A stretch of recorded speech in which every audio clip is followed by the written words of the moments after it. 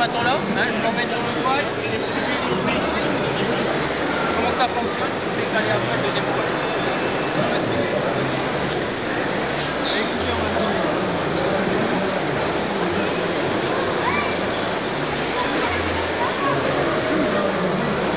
deuxième poil.